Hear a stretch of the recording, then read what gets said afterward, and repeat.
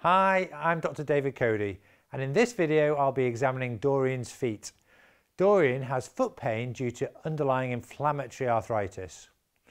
Dorian, is it okay if I examine your feet? Yes, fine. So although you're going to perform an examination of the foot and ankle, it's useful to do a general inspection first. Is the patient well? Have they got any walking aids, for example? Firstly, I'm going to observe the feet, comparing both sides. Ideally, this would be done with the patient standing up. So I tend to divide uh, the observation of the foot into three parts. I think about the forefoot, the midfoot and the hindfoot. And again, I will think about layers. So I'll think about looking at skin changes, the soft tissue and the muscles and tendons underneath, through to the bone and joint structure. As part of skin changes, don't forget to look for psoriasis, nail changes, skin rashes, scars or rheumatoid nodules. Look at the big toes to see if there's alignment. Has the patient got hallux valgus, for example? Is the clawing of the lesser toes? Are the calluses on the tops of the toes from shoes rubbing? Are changes symmetrical or asymmetrical? Symmetrical changes would be present in rheumatoid arthritis, asymmetrical in psoriatic arthritis. Is the loss of the arch of the foot when looking at the midfoot? Then I'll get the patient to turn around and look at the back of the foot. So if I could just turn, turn away from me, Doreen. Okay, so when from behind, I'll be looking at the lower leg, the heel and the ankle to see is the leg in alignment when the hind foot, is there a varus or a valgus deformity at all? Is there subluxation of the subtalar joint? I'll ask the patient if their feet are painful. Are they sore at the back there, Doreen? No. I'm just going to gently feel over the Achilles tendon for tenderness and thickening.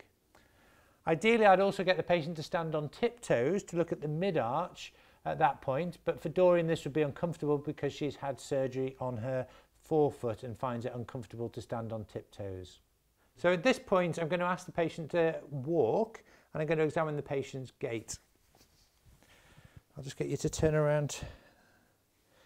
That's great. So if I could just ask you to take a few steps, Dorian. And back again towards me.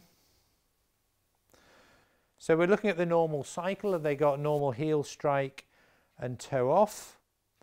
And Dorian's got quite an antalgic gait, so it's obviously painful for her putting the weight through the front of the foot. And if you come back to me, that's great. Okay, and then I'm going to get the patient up on the couch to examine the foot in a little bit more detail. So with the patient on the couch, uh, look at the underside of the foot checking for any calluses. And then again, I'm going to have a, have a, a look for scars if I haven't seen them before. And then I'm going to go on to feel. So to start with, I'm feeling for temperature across the joints. And I'll have a feel of the foot pulses also.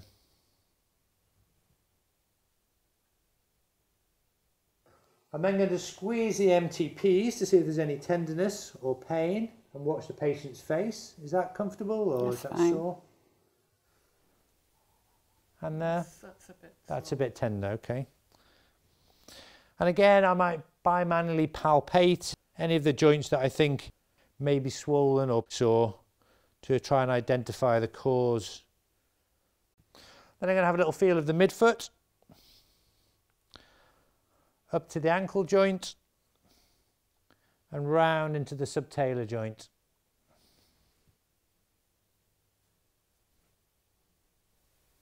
That okay?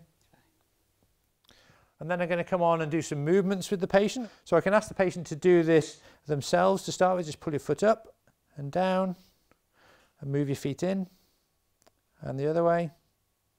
That's great. And just pull your big toe up and down. Okay, I'm just going to do some of those movements myself.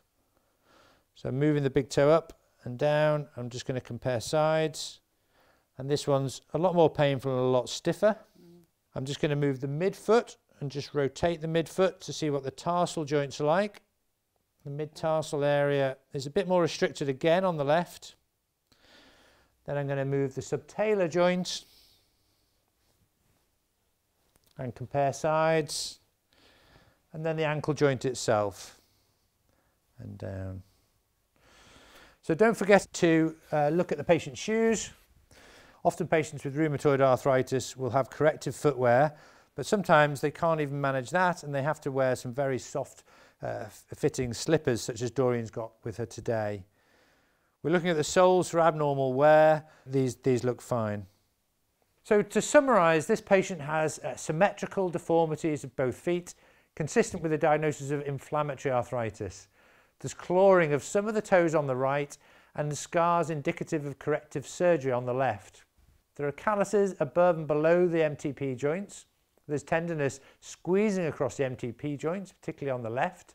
There's loss of range of movement in the ankle joints and particularly the left great toe. Walking is difficult due to pain and deformity, the patient walks flat-footed and is unable to stand on her toes. The diagnosis is one of inflammatory arthritis affecting both feet. You can also say if you think the rheumatoid arthritis or psoriatic arthritis, dependent on the clues that you found with nail changes and joint symmetry.